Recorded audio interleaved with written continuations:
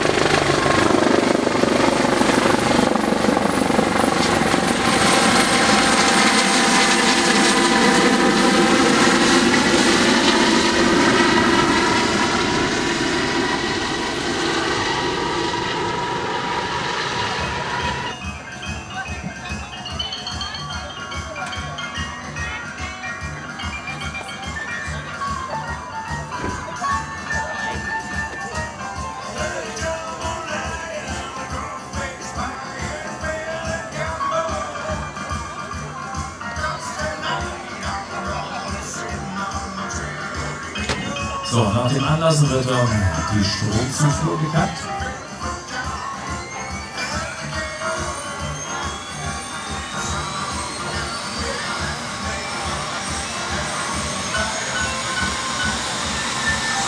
So, bitte die Coupés festhalten.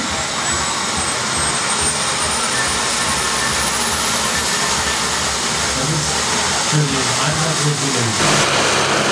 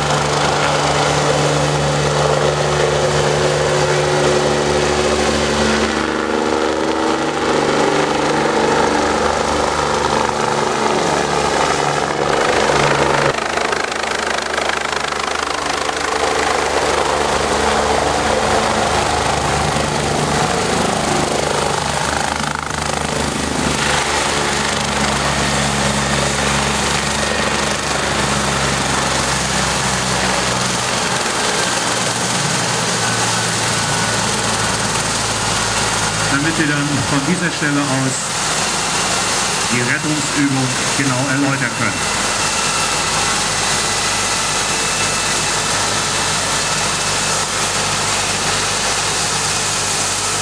So, der Hubschrauber ist gelandet, hat den Notarzt abgesetzt.